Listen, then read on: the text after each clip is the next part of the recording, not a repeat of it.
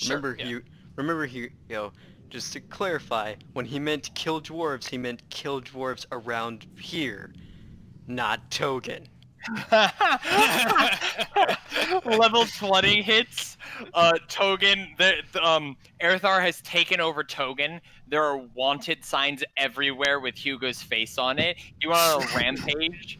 He's killed over 7,000 dwarves. no one can do anything to fought. stop him.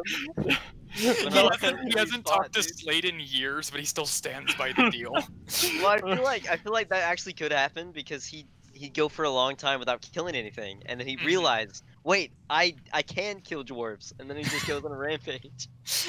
Hugo Hugo's epilogue is just he spends a year killing every dwarf in Togen, warps to uh warps to uh the elemental plane of Earth because at that All point of their you bodies are just crushed by a giant hammer.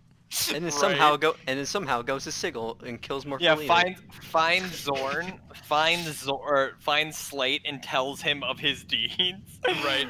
I Teleports him, teleports him to Asgard and shows him the massive memorial that has been built for the sudden slaughter of so many dwarves. And is like he's like, Wow, I knew I made a good deal.